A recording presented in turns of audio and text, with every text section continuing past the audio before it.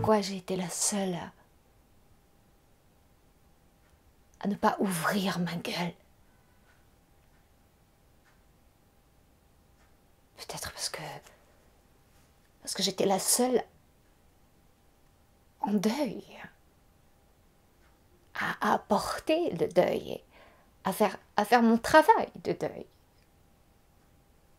suite à l'éclipse de celui qui fut pour moi le seul œil du ciel.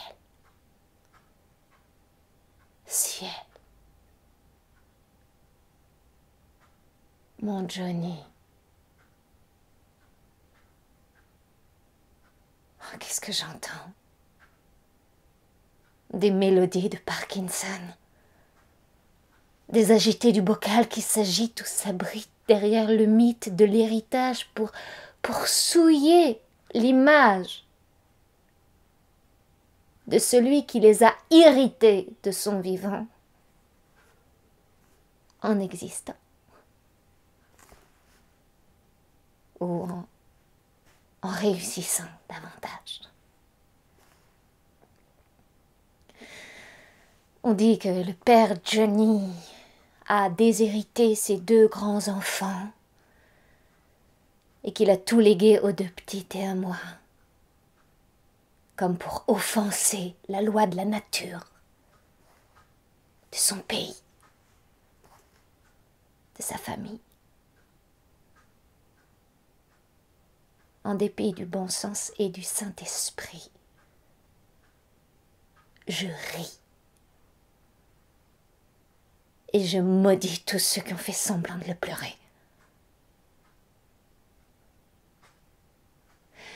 Je vais peut-être vous étonner en vous révélant que c'est pas du tout, pas du tout une question d'argent. Il faut voir en dessous de ces gros sous pour, comprendre pourquoi ils sont tous devenus fous. Ces deux grands ont tout fait, tout pour se démarquer de leur père quand il était au sommet. Ils étaient persuadés de vouloir et de valoir artistiquement davantage. Ils étaient tout bêtement, mais jaloux. Même s'ils contrôlaient leur dérapage. Ils l'enviaient. Et ils lui en voulaient parce qu'à leurs yeux, il ne méritait pas autant de gloire, autant de renommée. Et voilà qu'ils font mine de s'étonner de ne pas hériter ou bénéficier de, de ces vieux succès.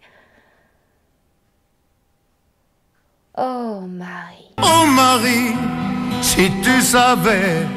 Si tu savais tout le mal qu'on lui a fait.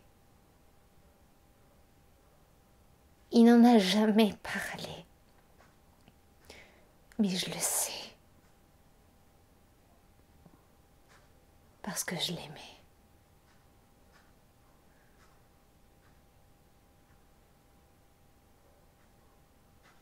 Je ne me battrai pas pour l'héritage,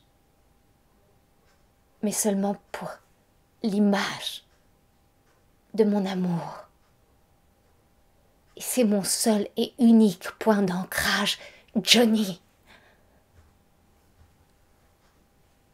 Johnny. Johnny, pour moi, il n'est pas mort. Il est là. Bien vivant. Puis, devant le soleil,